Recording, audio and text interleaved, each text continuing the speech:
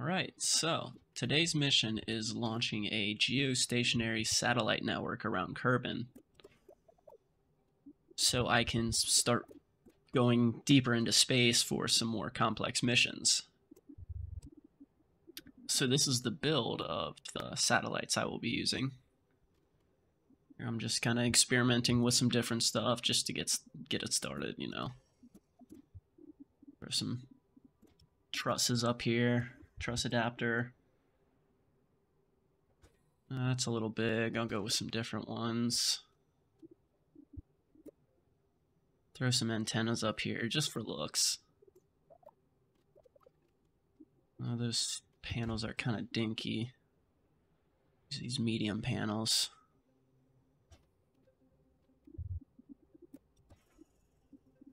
The stabilizer, the coupler. I've been having some problems launching more sophisticated, I guess you could say, rockets. So I've just kind of went for a easier mission that maybe couldn't be plagued with the glitches that KSP2 has been having recently. There's the fairing. They're very finicky as you can see. Uh, building the main booster here. And some wings. KSP2 is all about wings. Throw some clamps. There's that finicky fairing again.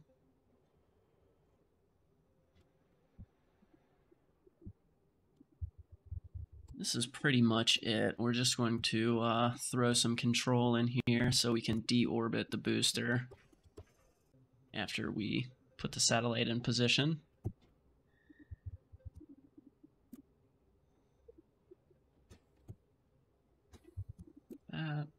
Kind of last minute decided to add these tanks just for a little extra delta V for a buffer.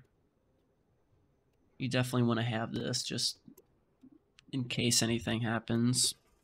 I've been having troubles keeping a steady apoapsis and periapsis as they randomly just move on their own without any engine input, no thrust in any direction. Throw those clamps on, get rid of that one. And I think she's ready. We're gonna go ahead and go to the launch pad.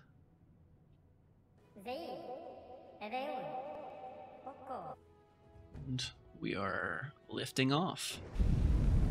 I'm gonna go ahead and speed up the video here just to move things along a better pace so they don't drag for no reason. Had the gimbal enabled on those outer vector engines, which turned out to be a mistake because it almost gave it too much control.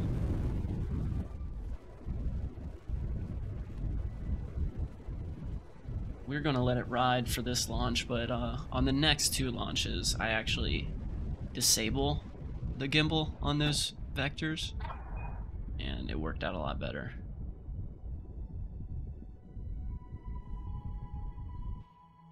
I brought my apoapsis up to about 85,000. Doesn't really matter, it's just... Always get in orbit before I make any maneuvers. Just gonna fast travel to the apoapsis and then do a burn to circularize. And then I'm going to start taking my apoapsis out to the geostationary orbit. That's about 2,863, 64 kilometers. Which I'm not sure if you can actually hold that stably in KSP2 yet. Because, like I said,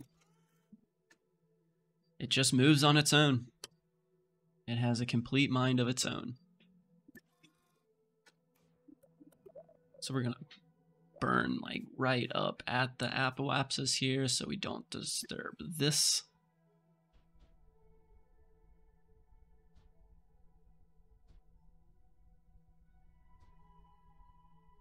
We are almost there, and it looks like we have plenty of delta V to deorbit our booster. After we make our final fine adjustments on our orbit,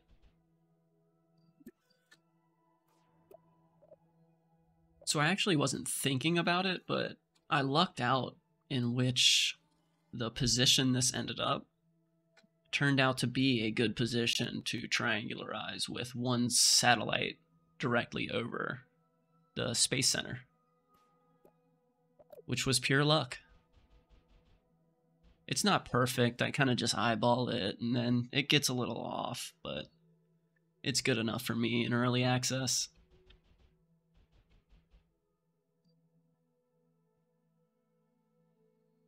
And the finicky periapsis aps- apoapsis markers are back. I don't know if you guys remember those. Also the fairing there. It's not really a elegant looking decouple, as it doesn't really spread just kind of flies off the front there and clips with all the parts on its way out. No cracking though, so that's good.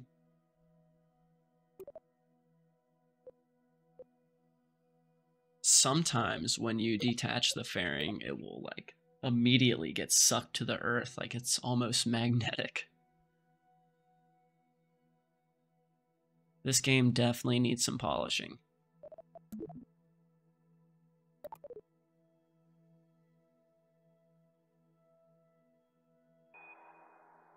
Just made some fine adjustments there. And you see my apoapsis did get off there, and I didn't even notice as I was doing this mission.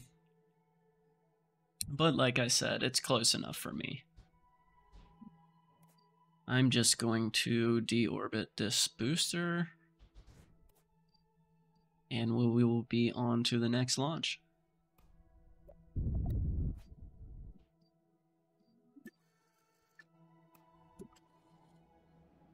We are coming in hot. those wings doing their job. Keeping the nose pointed prograde.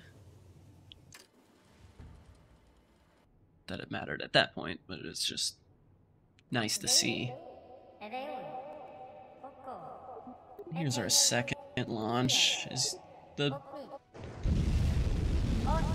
the Delta V estimates are wild in this game. They just constantly change. I can see change as you go up into the atmosphere. You know, the engines have different thrust depending on if you're in atmosphere or in vacuum.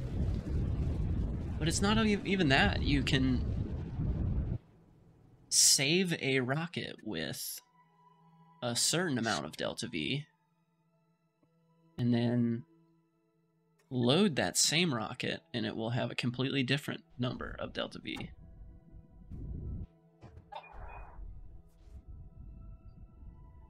Ditch those boosters, the first stage.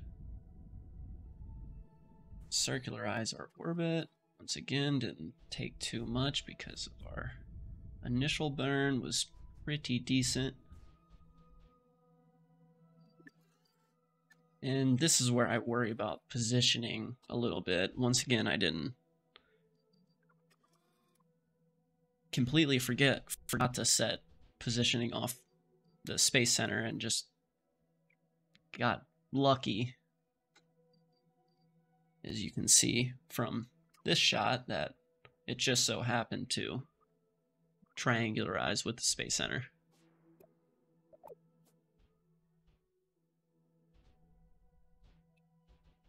Make our uh, fine tune adjustments here.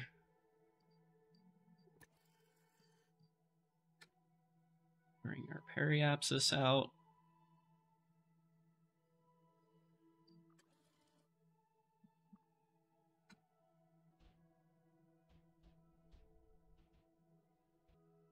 And this one is in position. Just going to... That's where our third and final satellite for this geostationary satellite network will be. Going to deorbit these boosters, and what you what you're not seeing is like a quick save and reload because whenever you decouple and switch to a booster, uh, it wouldn't have a CommNet for whatever reason.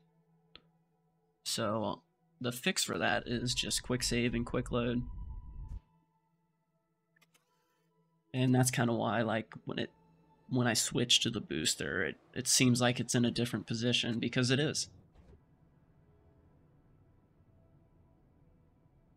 We're at the launch pad for our third and final launch. I don't know what happened to my struts here. I didn't pay attention enough to tell if they were on the second launch, but they were definitely there for the first launch, and I can see them on the body of the rocket but they're not attached.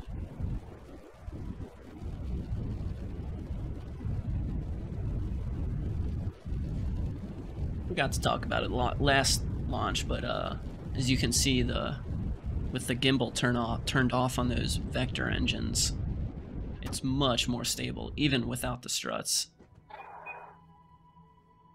Kind of was just in a rough spot, so I just didn't really want to work on getting prograde so I just killed my engines to detach those fuel tanks. Let them run across the wings a little bit.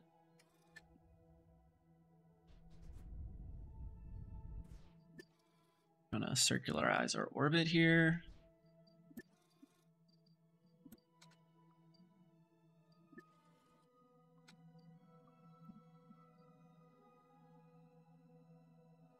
Actually kind of messed up here. I didn't burn long enough. I'm not sure what happened.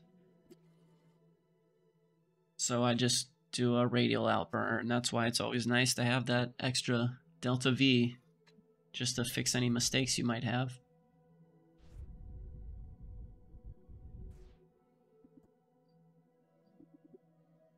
And I didn't on the other one. I should have, but I didn't fix my inclination. But I'm going to go ahead and set the inclination on this based on another satellite, just just so at least two of them are close. Well, really, not perfect, but close. Once again, I'm going to wait for a better spot, which looks like this is it, to bring out my periapsis. Almost perfect.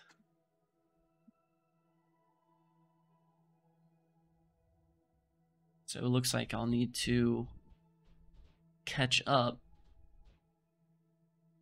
So I'll leave my periapsis down a little bit. Should have actually brought it up from there. But I passed it. So since I wasn't all the way up to my apoapsis here. I just radio radial outburned.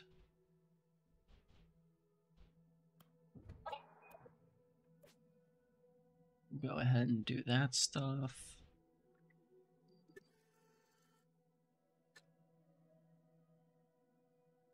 And do the final finishing touches on our orbit here to get into that geostationary orbit.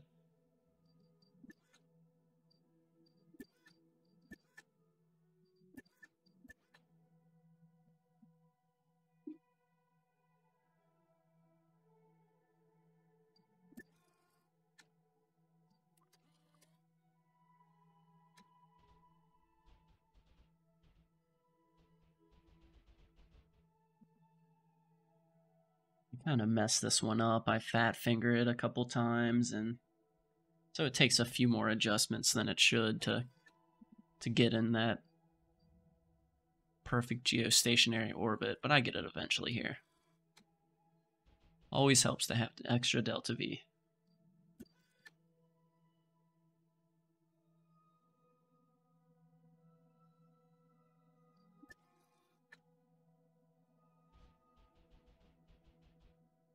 And there we are.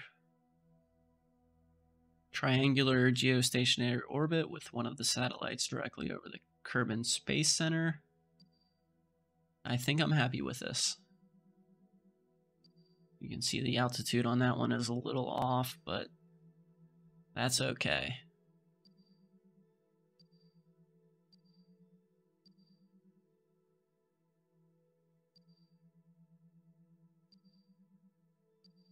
The triangular the triangularization is going to get off a little bit as time goes on. I'm going to warp here just to show you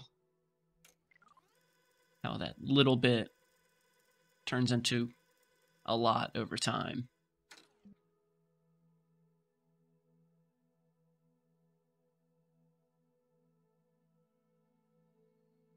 It wasn't too bad. As you can see, they're getting off. I guess as time goes on, they will get more and more out of orbit.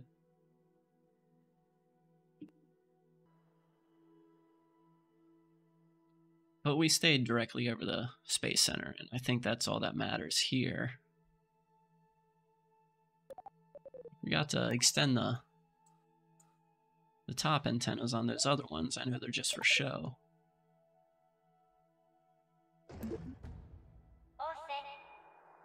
And we are going to deorbit our final booster here. And this mission will be complete.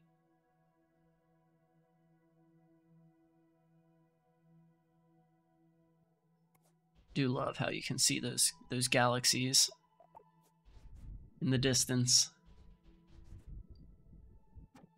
We had a little extra delta V here, so we are going to come in at a straight descent and blow it up. So there's the end result. It's not perfect, but it's good enough for me.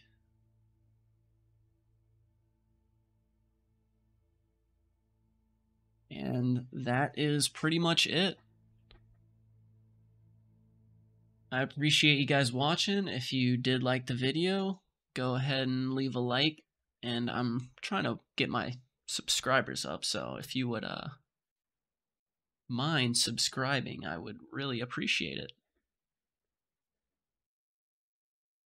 So as always, thanks for watching.